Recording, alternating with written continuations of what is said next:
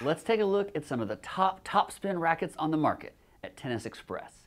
First on the list is the Babolat Pure Aero.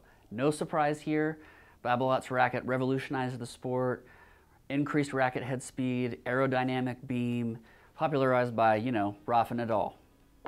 No trouble there. Next up, it's the Head Extreme MP.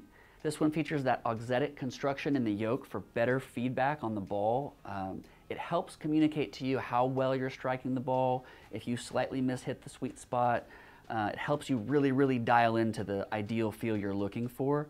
And this racket also offers a little bit more comfort than your standard uh, spin frame. Next up from Yonex, one of my favorite updates in the last couple of years. It's the newly refreshed VCore 98. They've stretched out the sweet spot kind of to the upper sections of the racket. That along with vibration dampening mesh inside the handle and a newly more stable shaft design make the VCore 98 an ideal choice for intermediate and advanced players looking for a little bit more spin in their game. Next up, a really cool cosmetic I might add, is the Dunlop SX300.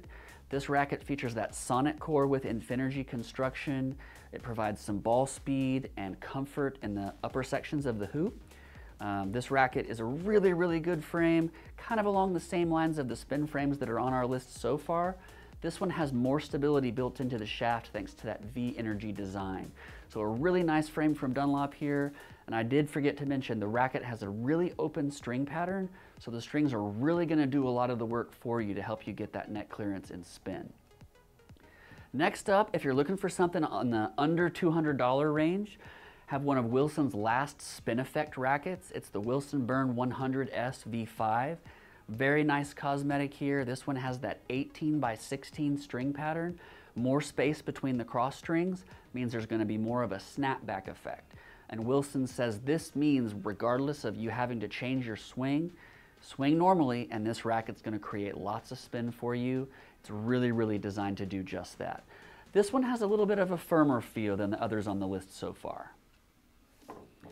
And last up, it's the 2019 Pure Aero, again popularized by Rafael Nadal. This racket kind of broke the mold as far as aerodynamic, beam design, um, lots of power, lots of spin, very explosive frame from Babolat. Now, since there's a newer version on the market, this one has dropped under $200. So that's kind of a rundown of the top spin frames that we have for you at Tennis Express right now. Again, if you want to check out more specifics on each of these rackets, don't forget to check out our review.